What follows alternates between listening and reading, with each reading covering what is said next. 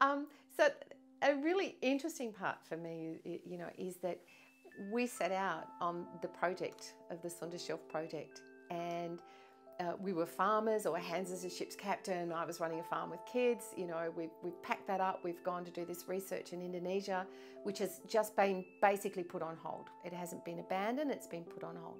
We're playing with our equipment, which we could only do this because of the technology that we have today. Um, in the sense that side scan sonars were normally really big and we can pack ours in a suitcase and put it in the back of the boat. The equipment is, is all manageable on board for us. And research, doing research has become so easy today because of Google, because of the internet, because we're able to go into archival stuff. All of the information that I have gleaned about the Viscount Melbourne has come from the internet, has come from emailing experts in England and around the world, and they've come back telling me I can't give you any more from our records physically in England than what you have gleaned yourself. And so that was a really exciting thing to know that we have gathered as much information that we can so far um, about the Viscount Melbourne who was on board. Now, it's a difficult wreck. One, we were not divers, we were certainly not technical divers. And now we are both diving together uh, 40 metres. The, the, the maximum depth is 40 metres. We're actually not diving that deep all the time. It's unrecognisable. It's 170 years old. It's incredibly treacherous. Uh, we, where we are anchoring and how we are accessing, we have to be alert all the time to the situation, to the weather. And it's worth it because we bring up these magnificent little tidbits that we have no idea what they were used for, their purpose. Uh, it's, it's necessary too, though, when we bring them up, to try and identify them because we know from Harry's account and his Latin long positioning that this ship is laying in that position. However, we don't have a bell. Uh, we know that saltpeter was on board now. We also know that saltpeter uh, is incredibly corrosive to metal, but it actually preserves wood.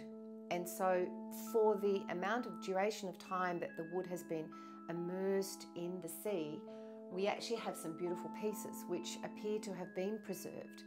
And yet, all of the steel that we are bringing up is actually affected almost as if it was helped along with the saltpeter. So, we felt at first that what we were bringing up was fitting with Harry's um, account.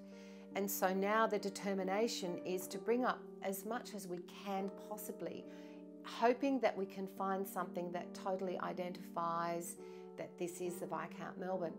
And I feel that we've done that in a couple of the artefacts. We have, if I can bring you to um, a page that I have here, which is we had, and I, unfortunately, I only have the photograph because the bottle has actually been removed, and that's another story.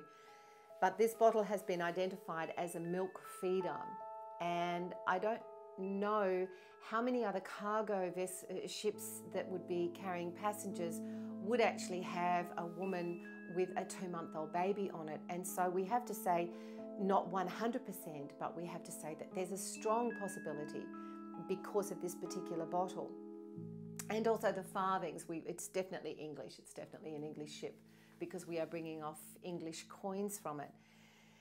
And the first artifact that we brought up, you know, was a, a, a hand blown glass bottle, which was hand blown, I now know, into a tri mold. And that fits, this particular bottle fits also with that time period between 1780 and 1850 but it had a natural air bubble in it from being hand blown, and that bubble under the pressure burst, but it revealed the fruit, and inside was blueberries. And that was, you know, for me, phenomenal to think that, you know, that fruit had been laying there. Not only was it preserved and not only was it not damaged from the wreck itself and the the ship sinking from the reef down to 40 metres, and here it is. And that I can tell you was an absolute motivation for me to go and dive some more. That's what motivated me to get my diver's license, to become certified, and to become a diver. I wanted, it is the largest lucky dip in the world for for a woman, for anyone. It's 150 foot long, it's 47 feet wide, and you put your hand into that mud and you draw out really one magnificent little pieces.